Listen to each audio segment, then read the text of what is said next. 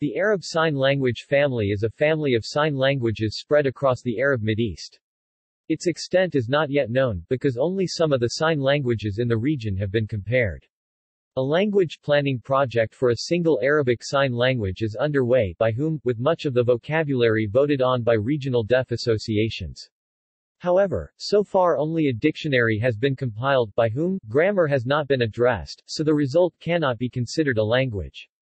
Among the national sign languages which may be related are the following, Levantine Arabic Sign Language Iraqi Sign Language Yemeni Sign Language Egyptian Sign Language Libyan Sign Language Kuwaiti Sign Language, Saudi Sign Language, Qatari Sign Language, Emirati Sign Language, Omani Sign Language Other languages of the region appear to not be related. Moroccan Sign Language derives from American Sign Language, and Tunisian Sign Language from Italian Sign Language.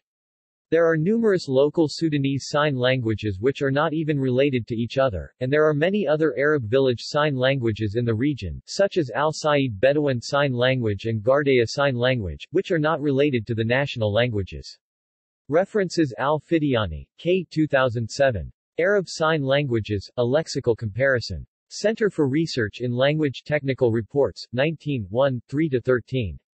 Al-Fityani, K., and Padden, C. 2010. Sign Language Geography in the Arab World. In D. Brentari, ed., Sign Languages, A Cambridge Survey, 433-450. New York, Cambridge University Press. Hendriks, Bernadette, 2008. Jordanian Sign Language, Aspects of Grammar from a Cross-Linguistic Perspective, Dissertation, 1 Padden, Carol, 2010. Sign Language Geography, in Mathur and Napoli, eds, Deaf Around the World, Gallaudet Richardson, Kristina, 2017.